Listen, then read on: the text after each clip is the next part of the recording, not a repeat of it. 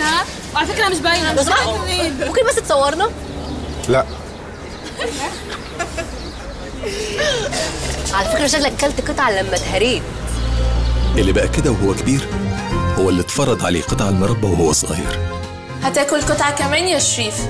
عشان كده فيتراك حلت لك مشاكل القطع مع ولادك ماشي. وعملت لك فيتراك كريمي. هرسنا قطع منها فيها عشان اللي ملوش في القطع يستمتع بيها. فيتراك كريمي بنهرس على سعادة العيلة.